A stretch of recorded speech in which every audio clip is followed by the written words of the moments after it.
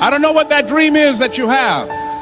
I don't care how disappointing it might have been as you've been working toward that dream. That that dream that you're holding in your mind, that it's possible. That some of you already know that it's hard. It's not easy. It's hard changing your life. That in the process of working on your dreams, you are going to incur, incur a lot of disappointment, a lot of failure, a lot of pain.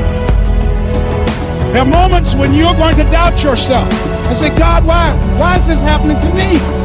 I'm just trying to take care of my children and my mother.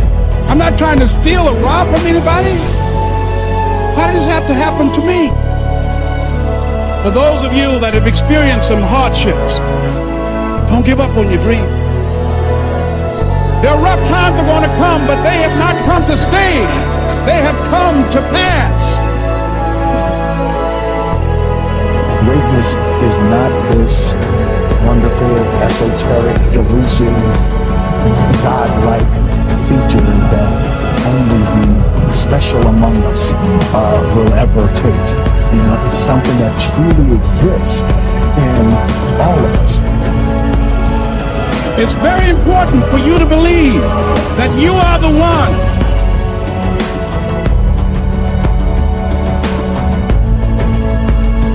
Most people, they raise a family, they earn a living, and then they die. They stop growing, they stop working on themselves, they stop stretching, they stop pushing themselves.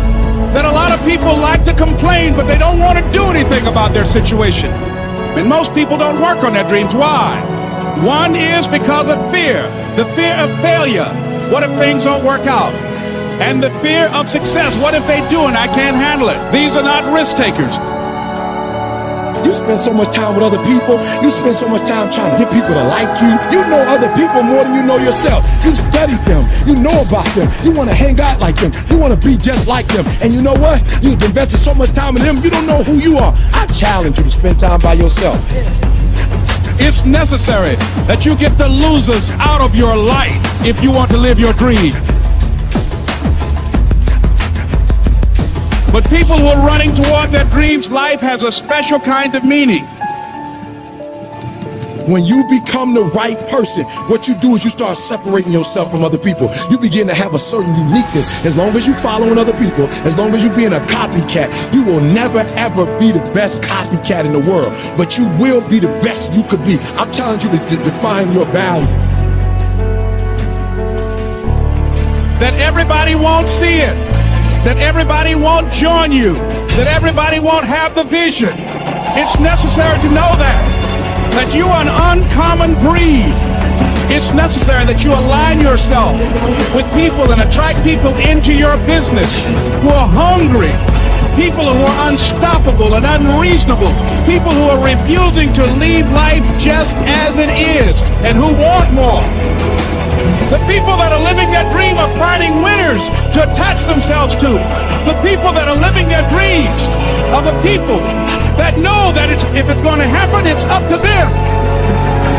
If you want to be more successful, if you want to have and do stuff you ain't never done before, number two, I'm asking you to invest in you. To invest in you. Someone's opinion of you does not have to become your reality. That you don't have to go through life being a victim.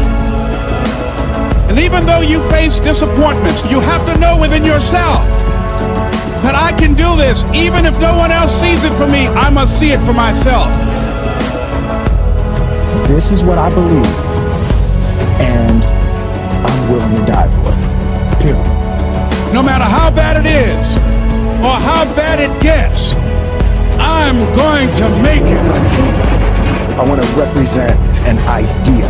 I want to represent possibilities. And some of you right now, you want to be, you know what I'm saying? You want to go to the next level. I want to counsel. You know, I want to be an engineer. I want to be a doctor. Listen to me. You can't get to that level. You can't get to the level economically where you want to be until you start investing in your mind. You're not reading books. I'm challenging y'all to go to conferences. I dare you to invest time. I dare you to be alone. I dare you to spend an hour getting to know yourself. When you become who you are, when you become the person that you were created to be, designed to be who you were designed to be, when you become an individual, what you do is you take yourself and you start separating yourself from other people. I challenge you to get to a place where people don't like you, it don't even bother you no more. Why? Because you're not concerned with trying to make them happy because you're trying to blow up. You're trying to get to the next level. I need you to invest in your mind. Invest in your mind. If you still talk about your dream, if you still talk about your goal, but you have not done anything, just take the first step.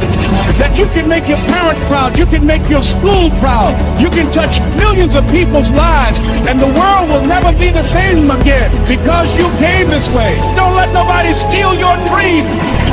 After we face a rejection and a no, or we have a meeting and no one shows up, or somebody say, you can count on me, and they don't come through. What if we have that kind of attitude? The car's repossessed. Nobody believes in you. You've lost again and again and again. The lights are cut off, but you're still looking at your dream, reviewing it every day, and say to yourself, it's not over until I win.